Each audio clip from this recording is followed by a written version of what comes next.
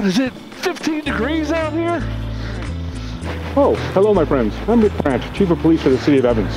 And I'm Evans City Manager, Jim Becklenberg. We don't always jump into freezing cold water, but when we do, We do it to raise money for the Special Olympics. my police department will be participating in the upcoming Polar Plunge to raise money for Northern Colorado Special Olympics, and we need your support.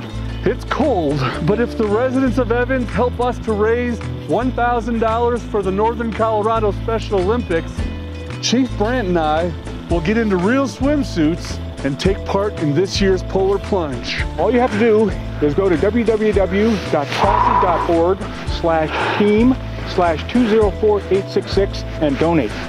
The event is on March 9th at 1 p.m.